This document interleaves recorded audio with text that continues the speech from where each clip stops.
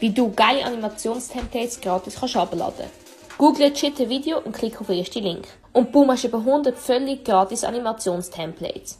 Wähle eins aus und schon kannst du die einzelnen Sachen sowie die Länge ganz einfach anpassen. Das Ganze sieht dann so aus. Folge für mehr Tipps